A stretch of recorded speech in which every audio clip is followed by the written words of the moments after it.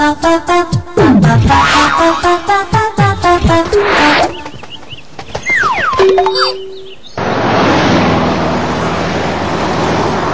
يا خالد سنتأخر هكذا عن الصلاة.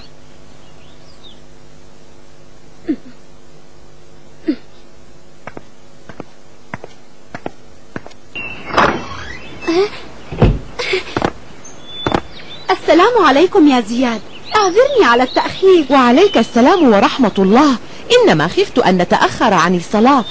فالمسجد الذي سنصلي فيه اليوم يبعد قليلا عن بيتك.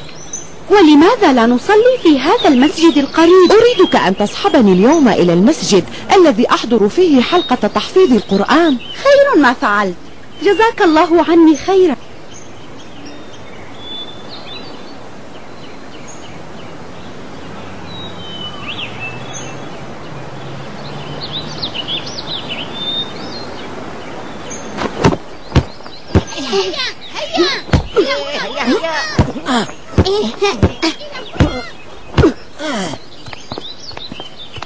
ها قد وصلنا والحمد لله.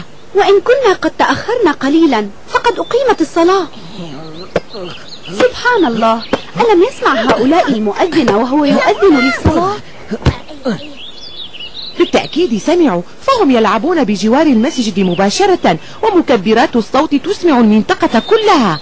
إذا كيف يسمعون المؤذن يقول حي على الصلاة حي على الفلاح أي حي على الصلاة التي هي سبب فلاحكم في الدنيا والآخرة ولا يجيبونه. أو قول المؤذن الله أكبر الله أكبر التي ينبغي لسامعها ترك كل شيء بيده حتى التجارة والذهاب إلى الصلاة فكيف باللعب؟ لماذا لا نذهب إليهم وندعوهم إلى تلبية الصلاة وترك اللعب؟ ولماذا؟ ليس هذا من شأننا. فما دمنا نحن نصلي والحمد لله فلا يضرنا خطأ هؤلاء وتركهم للصلاة. والله سبحانه يقول يا أيها الذين آمنوا عليكم أنفسكم لا يضركم من ضل إذا اهتديتم. حسنا لندرك نحن الصلاة إذا.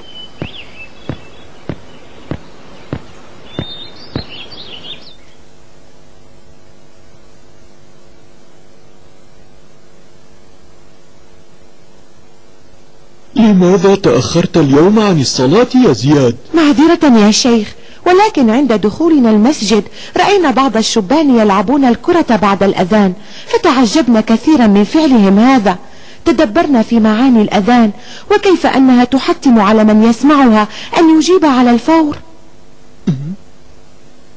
ألم تدعهم للصلاة وترك اللعب؟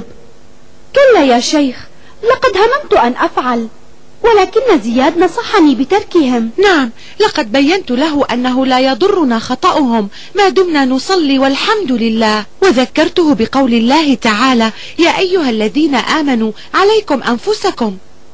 غفر الله لك يا زياد. ما هكذا تفهم الآية؟ كيف يا شيخ؟ لقد صعد أبو بكر الصديق رضي الله عنه يوما المنبر وقال أيها الناس إنكم تقرؤون هذه الآية عليكم أنفسكم.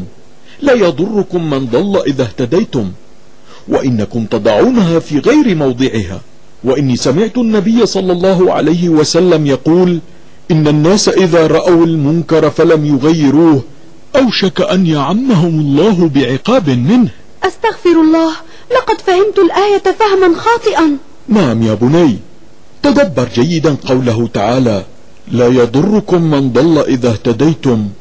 ومن تمام هداية المؤمن أن يأمر بالمعروف وينهى عن المنكر.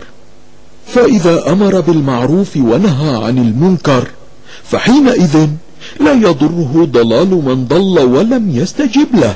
لذا ينبغي يا زياد ألا نفسر آيات القرآن قبل الرجوع إلى كلام أهل العلم الموثوق بهم.